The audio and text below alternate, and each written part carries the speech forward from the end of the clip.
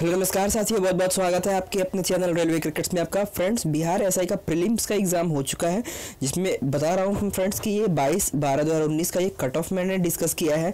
बहुत सारे बच्चों से डिस्कस किया था मैंने, अपने मेल द्वारा उन्होंने भेजा है कि, सर, मेरे इतने मार्क्स आ रहे हैं, इतने मार्क्स आ रहे हैं। तो आप मुझे कमेंट कर सकते हो कि आपके कितने मार्क्स आए हैं। तो मैं बताऊँगा उसका जो नॉर्मलाइजेशन के मैथड के अकॉर्डिंग आपका मार्क्स होगा कि नहीं। अब बहुत सारे बच्चों के मन में ये बात है कि, सर नॉर्मलाइजेशन होगा कि नहीं?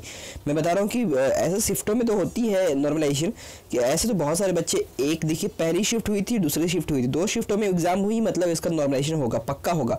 गारंटी के साथ होगा इतना तो मैं बता सकता हूँ गारंटी के साथ होगा, ठीक है ना? अब जो भी कैटेगरी वाइज जो कट ऑफ़ मैंने डिस्कस तैयार की है, इसको हम अच्छे से जानकारी ले लेंगे और बताएँगे कि आपको, आपका जो सेफ़ स्कोर कितना रहेगा और आपका जो रेंज है सिलेक्शन रेंज भी आपका है कि नहीं। अगर आप प्रीलिम्स पास करते हो तो आपको मेंस देना होगा। मेंस के लिए मैं तैयारी करा रहा हूँ। अगर आप नहीं देखा वीडियो तो ज़रूर देखिए जाके। मैंने स्टार्ट कर दिया है वीडियो, पहला वीडियो अपने मैंने अपलोड किया है, जो कि हिंदी व्याकरण के अकॉर्डिंग पर्यावाची शब्दों से है। ठीक है? तो चलिए, मैं अभी कैटेगरी वाइज डिस्कस करूँगा कि आपके अगर इतने मार्क्स आते हैं तो आपके सिलेक्शन रेंज करेक्ट है या नहीं। ठीक है? चलिए वीडियो को स्टार्ट करते हैं। तो फ्रेंड्स, अगर आपका कट ऑफ़ जो है ना, general B C E B C S C S T W B C E B C E W S sorry तो ये सारे जो है ना शिफ्ट वन शिफ्ट टू दोनों का मैंने मिला के बताया है। मेल का देखिए 115 से 120 तक रहना चाहिए, कम से कम, जो मार्क्स है, कम से कम देखिए, इसमें 60 क्वेश्चन आपके करेक्ट होने चाहिए, पहले शिफ्ट में, और इसमें दूसरे शिफ्ट में कम से कम पचपन करेक्ट होने चाहिए। ठीक है, जो मेल कैटेगरी के हैं, इसमें से आप हिसाब लगा सकते हो क्योंकि एक एक क्वेश्चन का दो मार्क्स था, मैंने आपको बताया है। तो फीमेल का देखिए 65 टू 70 आपके करेक्ट होने चाहिए, जो है करेक्ट मतलब कम से कम 35 करेक्ट होने चाहिए क्वेश्चन और इसमें कम से कम कम से कम बता रहा हूँ मैं, इसमें कम से कम थर्टी क्वेश्चन करेक्ट होनी चाहिए शिफ्ट टू में। तो फ्रेंड्स इस प्रकार से जनरल के मैंने बताया है?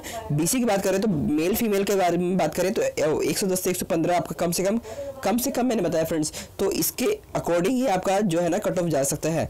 फीमेल का देखिए सिक्सटी टू सिक्सटी फाइव जाएगा और नाइन्टी फाइव टू हंड्रेड जाएगा मेल का, और फिफ्टी फाइव टू सिक्सटी जाएगा आपका फीमेल का।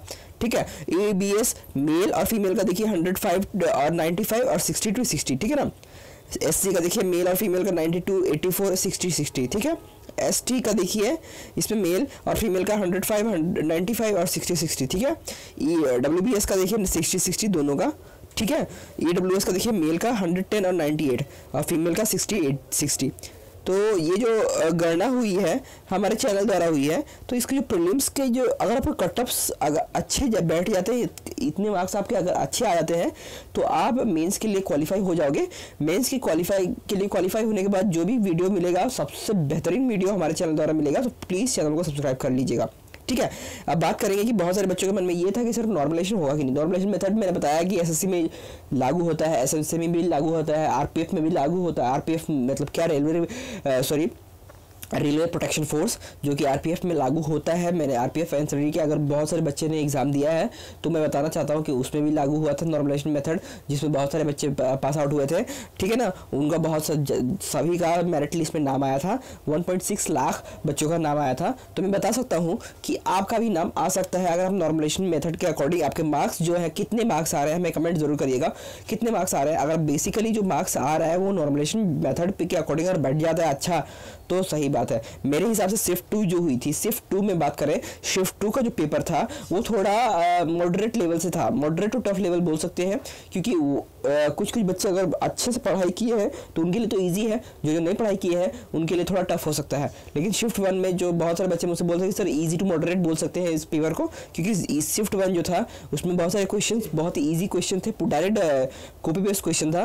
तो याद रखिए फ्रेंड्स शिफ्ट वन जो है इजी टू मॉडरेट और shift two moderate to tough तो देखिए, दोनों मैंने बताया कि पहले में जो मार्क्स बहुत, बच्चों के बहुत ज़्यादा आ सकते हैं शिफ्ट टू में कम भी आ सकते हैं, क्योंकि वहाँ पे बहुत सारा ज़्यादा उसमें बहुत सारे बच्चों ने एग्ज़ाम दिया है नॉर्मलाइजेशन मेथड उसमें लगेगा।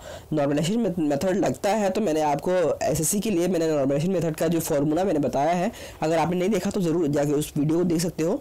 नॉर्मलाइजेशन मेथड का जो फॉर्मूला लगता है, हर एक एग्ज़ाम के लिए वो लगता है तो वो फॉर्मूला आप लगा सकते हो। मैं बता दूँ कि जो भाई जो भी शिफ्ट अगर आपका टफ होता है जो भी शिफ्ट आपका टफ होता है, उसमें आपका नॉर्मलाइजेशन मेथड लगेगा। नॉर्मलाइजेशन मेथड लगने के बाद आपका जो मार्क्स है, वो ऑटोमेटिकली इंक्रीज हो जाएगा, ठीक है? इंक्रीज होने के बाद आप जो है ना प्रीलिम्स के लिए प्रीलिम्स के लिए पास आउट हो जाओगे मेंस के लिए, ठीक है ना? पास होने के बाद मेंस का तैयारी आप कर सकते हो। अगर जो बच्चे 65 टू 70 अगर क्वेश्चन उनका करेक्ट हुआ है तो मैं उनको बार बार बोलूँगा, हर बार बोलूँगा कि वो मेंस की तैयारी करने में स्टार्ट हो जाए। देखिए फ्रेंड्स मैं इवनिंग का मैंने पूरा hundred to hundred out of hundred सारे के सारे क्वेश्चंस मैंने पुटअप किए हैं और सारे वीडियो मैंने बता, बना दिए हैं। अगर आपने नहीं देखा तो ज़रूर जाके देखिएगा, क्योंकि उसमें इतना इतना तो ऑथेंटिक कोई भी वीडियो आपको पूरे यूट्यूब चैनल में नहीं मिलेगा, वो भी पीडीएफ के साथ। और इस वीडियो का भी पीडीएफ ये जो डेटा है, इसका भी पी में डाल दूँगा। ऑब्वियसली सभी बच्चों को इजी और सहायता मिल सके। तो थैंक यू फ्रेंड्स वीडियो अच्छा लगा तो प्लीज़ लाइक और सब्सक्राइब करिएगा। और चैनल को शेयर करना मत भूलना। Thank you thank you for watching Hmm.